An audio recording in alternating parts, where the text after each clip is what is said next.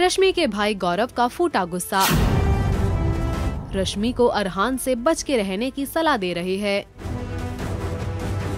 क्या अरहान वाकई में धोखेबाज है?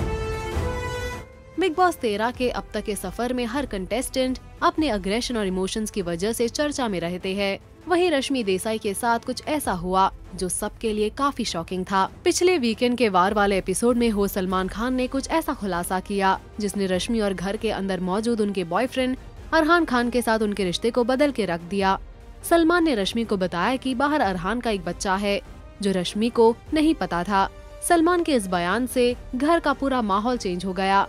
पर वही दूसरी तरफ़ अरहान शेफाली बग्गा से कहते हुए दिखाई दिए कि खत्म हो चुकी थी रश्मि देसाई। रोड पर थी। वहाँ से लेकर यहाँ तक मैं रश्मि को कैसे लेकर आया हूँ, मैं ही जानता हूँ। ये बात सुन के रश्मि के भाई गौरव को काफ़ी गुस्सा आया और उन्होंने एक न्यूज़ पोर्टल को इंटरव्यू देते वक्त कहा, मेरी बहन कभी भी रोड पर नहीं थी। मुझे नहीं पता कि वो इस प्रकार की चीज़ें क्यों बोल रहा है। अपने पार्टनर से ये सब सुनना आसान नहीं होता। इसके साथ हाल ही में वीकेंड का वार का हुआ इवेंट भी काफ़ी परेशान करने वाला था। और अब वो मेरी बहन के बारे में बोल रहा है कि वो रोड पर थी। सॉरी लेकिन ये सब काफ़ी परेशान करने वाला है।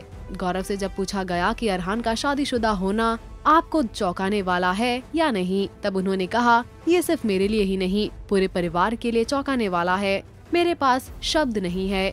घर से एक बार एविक्ट होने के बाद अरहान को फिर घर में आने का मौका मिला था और आते ही अरहान ने रश्मि को प्रपोज किया और कहा कि वो घर में ही उनसे शादी करना चाहते हैं, पर रश्मि ने मना कर दिया। आपको क्या लगता है रश्मि और अरहान का प्यार सच्चा है?